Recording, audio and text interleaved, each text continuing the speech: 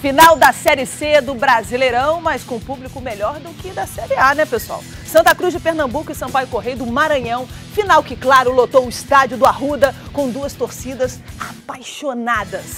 Aliás, o Santa Cruz terá essa temporada uma média de público maior do que do Corinthians, tem noção, e do que o Flamengo. É. 26.578 pessoas em 13 jogos é muita coisa, ou seja, mais do que os dois times de maior torcida no país tiveram em 19 partidas pelo Campeonato Brasileiro da Série A. O Corinthians tem 24.441 e o Flamengo tem uma média menor que a do Corinthians, de 22.872 pessoas por jogo. Agora é o seguinte, Ivan, para nós do Esporte Espetacular, a torcida do Santa Cruz é mais especial ainda. Por quê? Explica Sabe por quê. Porque é o seguinte, porque ela levou para as arquibancadas uma versão especial da música tema do nosso programa. Tá maravilhoso. Vamos ver e ouvir.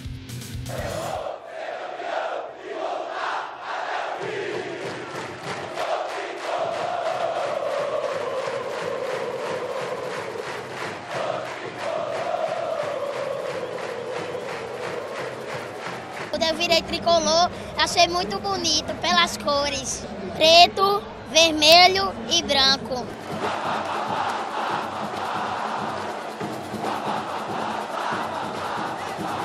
Fiel é a nossa, não é do Corinthians não. Fiel é essa aqui, ó. A mais apaixonada do Brasil.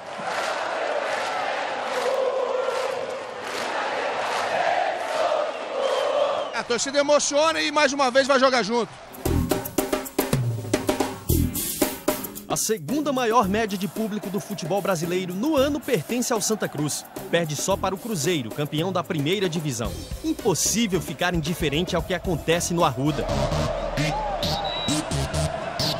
Grandeza é o que define esta final. Diante do tricolor pernambucano, um outro tricolor, maranhense, também um dos times mais populares do Nordeste. Sampaio Correia. Em São Luís, no Estádio Castelão, o clube teve a sétima melhor média de público entre todas as divisões do brasileiro.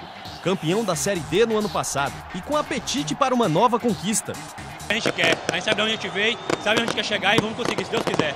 Já o Santa Cruz, 99 anos de vida e nenhum título nacional. Não há nada como uma alegria do centenário de Santa Cruz ter, ter uma taça dada pela CBF.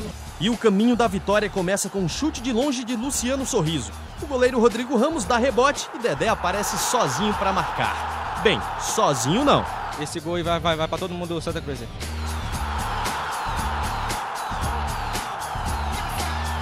1 a 0 perigoso, um gol do Sampaio e o título vai para São Luís. É quando o Santa precisa de um herói.